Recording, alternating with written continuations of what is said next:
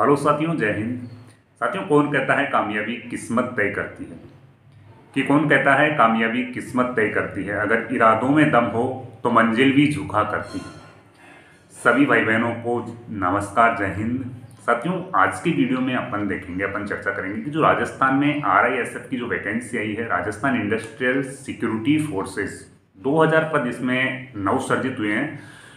तो 2000 पद तो इसमें नवसर्जित हुए ही हैं। साथ में राजस्थान पुलिस कांस्टेबल की जो पहले से वैकेंसी है, उस वैकेंसी की भी कहीं ना कहीं अपडेट आने वाले टाइम पे निकल के आएगी। तो देखो, ये जो वैकेंसी आने के बाद में आपको तैयारी करनी है, अभी से लग जाने। देखो, जिनका सलेक्शन होना आना, वो तो अब से कहीं टाइम पहले से ही तैयारी करता हुआ आ रहा।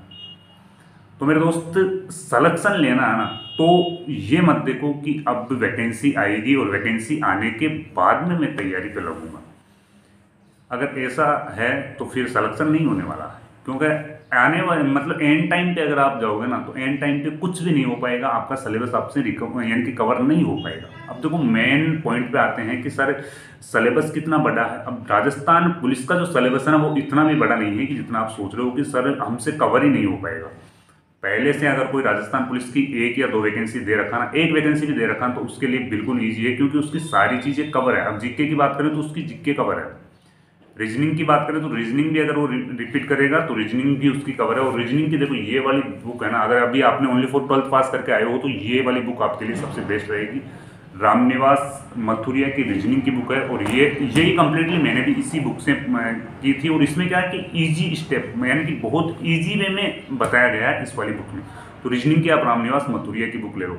अगर आपका जो भी टॉपिक ज़्यादा आपको हार्ड लगता ना, उसे थोड़ा एक्स्ट्रा टाइम दो।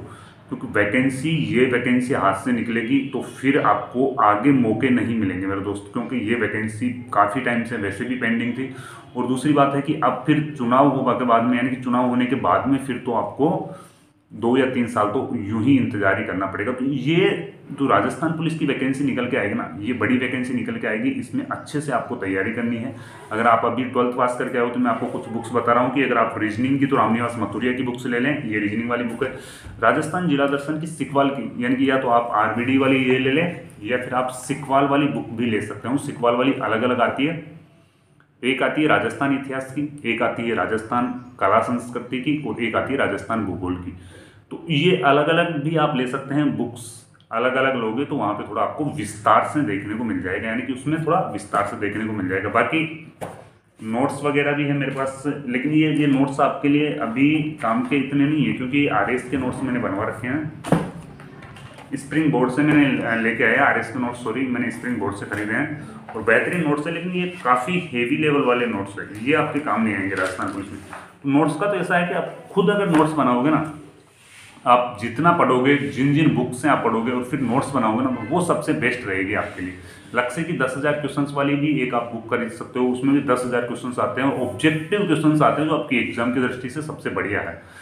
तैयारी अगर अभी से आप तैयारी में लगोगे, जब जाके आपकी आने वाली वैकेंसी है, वो क्लियर होगी और वैकेंसी क्लियर जब ही होगी, जब आप कम से कम पिछले चार पाँच महीनों से आपने अच्छे से, यानी कि कंटिन्यूसली आपने दो तीन दो तीन घंटे कंटिन्यू आप तैयारी करो, अब आप तैयारी को बढ़ा के पाँच छः सात घंटे तक लेके जाओगे जब।